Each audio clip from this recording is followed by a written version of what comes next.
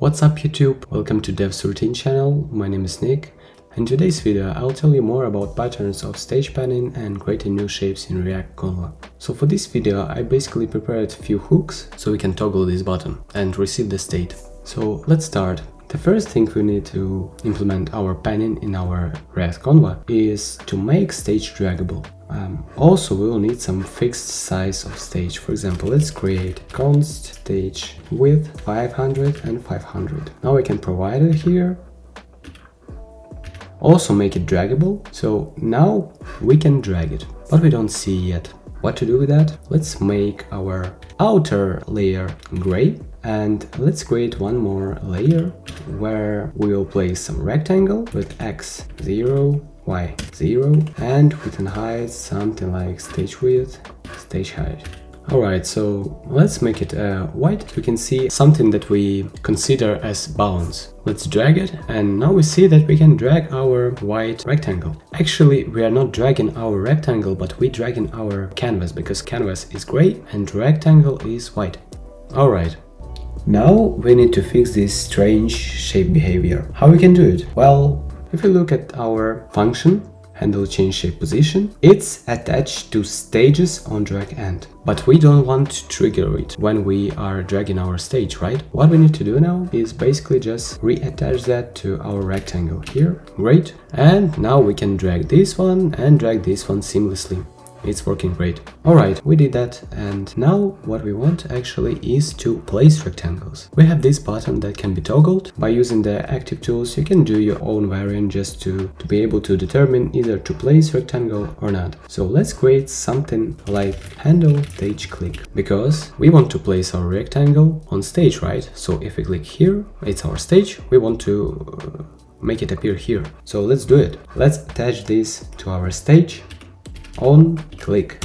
And now we can receive our stage here. Konva event object as well as we have here we can copy that and we have our event. Now we need to get its relative position because if you imagine when we drag in transform parameters applies to our stage or shapes. So now we're basically transforming our canvas. Now we need to store our shapes somewhere right? Let's create state. So basically we created our shapes array this is just typical uh, shape with dimension. So just ID and X and Y.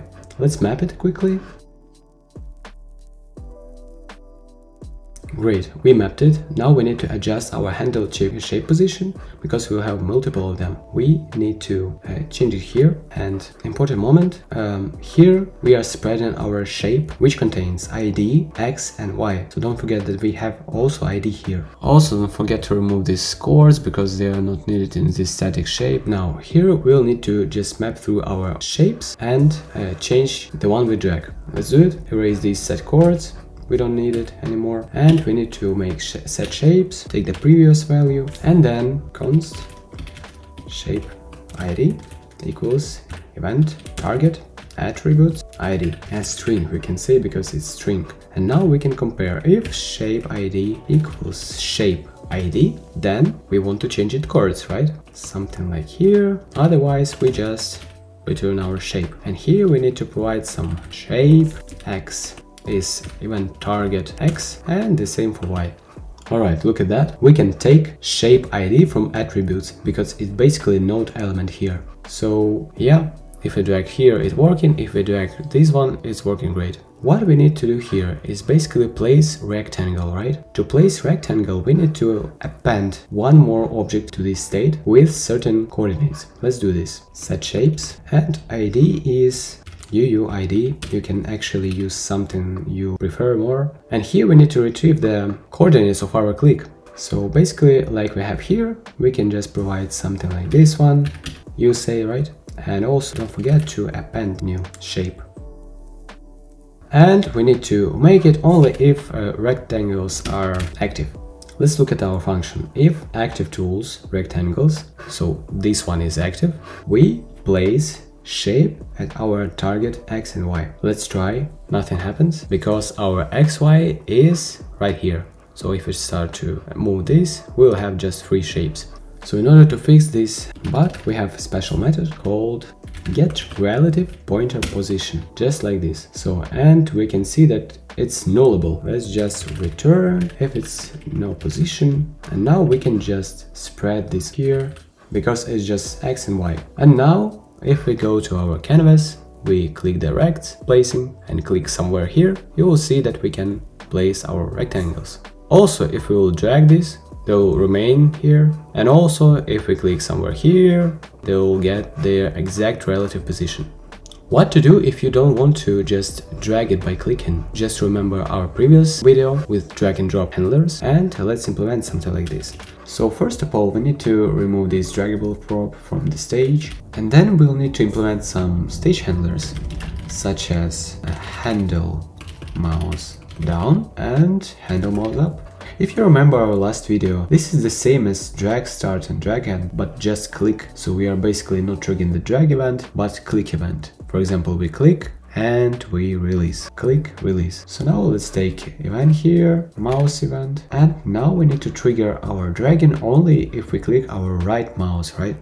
So we say if event button equals 2, then we say that um, e target get stage and we just take stage, start drag, and here we just say stop drag if we release our stage. And let's provide it here. On mouse down, handle mouse down. On mouse up, handle mouse. Let's try. It's working, but we have this nasty context menu.